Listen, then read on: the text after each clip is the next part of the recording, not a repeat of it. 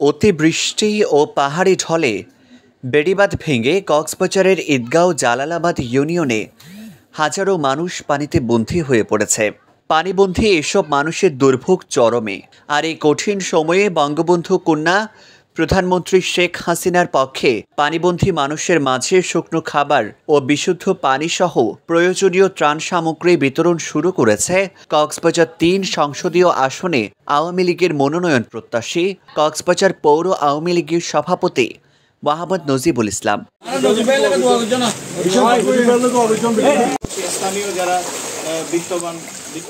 সোমবার বিকেলে নজিবুল ইসলামের তত্ত্বাবধানে জালালাবাদ ইউনিয়নের সৌদাগর পাড়া দক্ষিণ এবং পশ্চিম লরাবাগ পাড়ার পানিবন্ধী মানুষের মাঝে শুকনো খাবার ও বিশুদ্ধ পানিসহ প্রয়োজনীয় ত্রাণ সামগ্রী বিতরণ করেন তার সমর্থকেরা।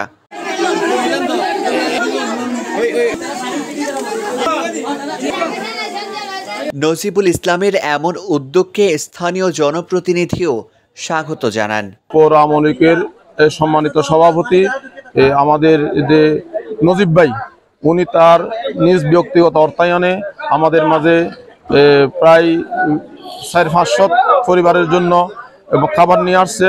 আমরা এই খাবারটা পেয়ে আমার এলাকাবাসীর পক্ষ থেকে ওনাকে ধন্যবাদ জানাই। এ সময় নজিবুল ইসলামের সমর্থকেরা জানান, ঢাকা অবস্থানকালে যখন এ অঞ্চলের মানুষের কষ্টের খবর পান, তখনই আমাদেরকে পাঁচশো পরিবারের মাঝে শুকনো খাবার বিতরণের নির্দেশনা দেন।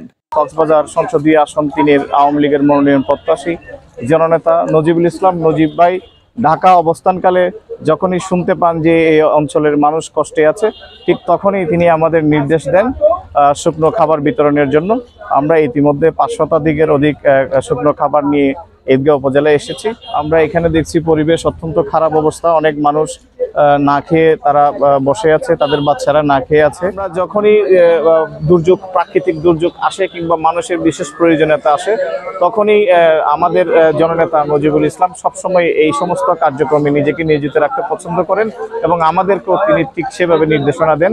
আশা রাখছি ভবিষ্যতেও আমাদের এই কার্যক্রম চলমান থাকবে ইনশাআল্লাহ। যেহেতু আমাদের নেতা নজিবুল ইসলাম ঢাকায় অবস্থান করতেছেন উনি আসতে পারেন নাই, উনি আসলে অবশ্যই, থাকলে অবশ্যই আসতেন, এটা জানি।